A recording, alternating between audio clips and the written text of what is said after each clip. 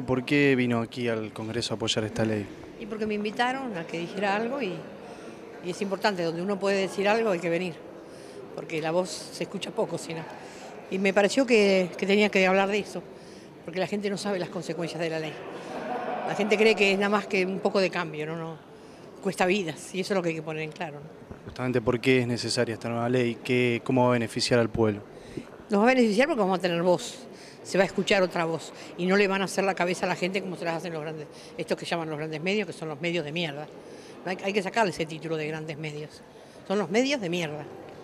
La experiencia de madre, justamente también, ¿por qué necesitan una nueva ley? Ustedes tienen sus herramientas, pero necesitan más difusión. Yo creo que necesitamos todos que se sepa lo que pasa. A mí me interesa lo que pasa en Salta, me interesa lo que pasa en Chubut, me interesa lo que pasa en la Antártida, me interesa lo que pasa en Buenos Aires.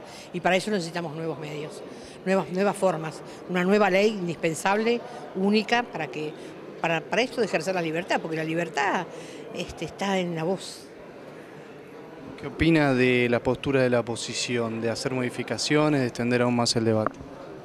No opino, la verdad que me da lástima, no quiero opinar de ellos. Bueno, no voy a perder tiempo en eso. Cuando salga la nueva ley, tendríamos que dedicarse a los 156 periodistas desaparecidos que por no someterse a los medios de mierda dieron su vida por esta patria. Y bueno, lo vimos con Rodolfo Walsh, la carta le costó la vida. Me olvidé de nombrarlo, pero Rodolfo Walsh, la carta le costó la vida. Hizo la carta, la presentó y el otro día se lo llevaron.